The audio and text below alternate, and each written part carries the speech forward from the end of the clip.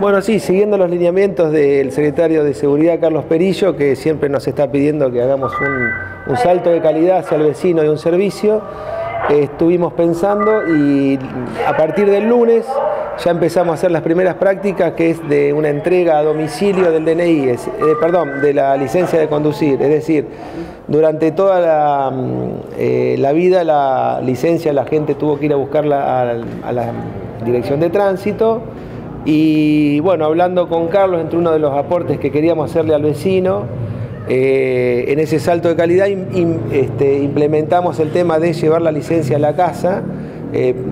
La dirección de tránsito tiene una persona que está abocada a eso y a partir de este fin de semana también vamos a ir el sábado porque estamos viendo que en la semana eh, no encontrábamos a veces al usuario de esa tarjeta, ¿no es cierto?, al vecino. Y entonces a partir de este sábado vamos a ir a la mañana y a la tarde, que va a ser una forma más directa y más precisa de encontrar al vecino en la casa, ya que en la semana por razones de trabajo vamos y notificamos y en algunos casos ya la hemos entregado y en otro no lo hemos encontrado al vecino. Entonces eh, incorporamos el día sábado a la mañana y sábado a la tarde para encontrar ya a la gente en la casa y que sea más efectiva aún la tarea que... ¿Por qué esta decisión? Porque hablando con el secretario de Seguridad, estamos hablando todo el tiempo de, la forma de llegar al vecino, de humanizar el tema del tránsito al vecino.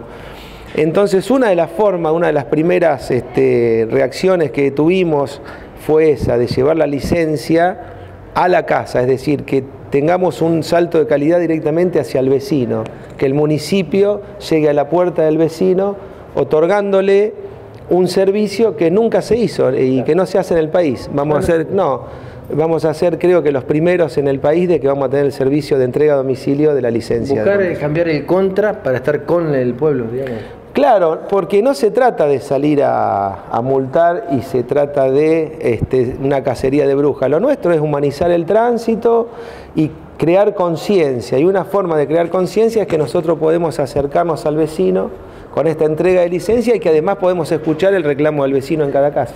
¿Va a estar a cargo de un agente de tránsito? ¿Va a estar identificado? ¿Cómo va a ser? Sí, va a haber dos personas, un agente de tránsito, eh, la inspectora Alicio, y también este, va a haber gente de administración que va a ir rotando.